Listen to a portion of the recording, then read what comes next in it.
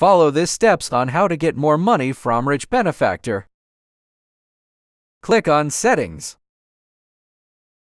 Click on View. Click Unlockables. Switch on the Rich Benefactor and click on Confirm. You would get a message like this. Click on Respond and click Yes. This will pop out.